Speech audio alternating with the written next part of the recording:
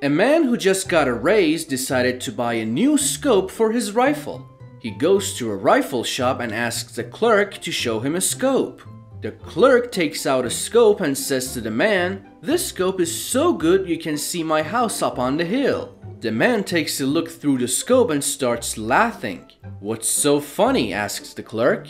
The man replies, I see a naked man and a naked woman running around in the house. The clerk grabs the scope from the man and looks at his house. Then he hands two bullets to the man and says, Here are two bullets. I'll give you this scope for free if you take these two bullets and shoot my wife and the guy next to it. The man takes another look through the scope and says, You know what? I think I can do that with only one shot.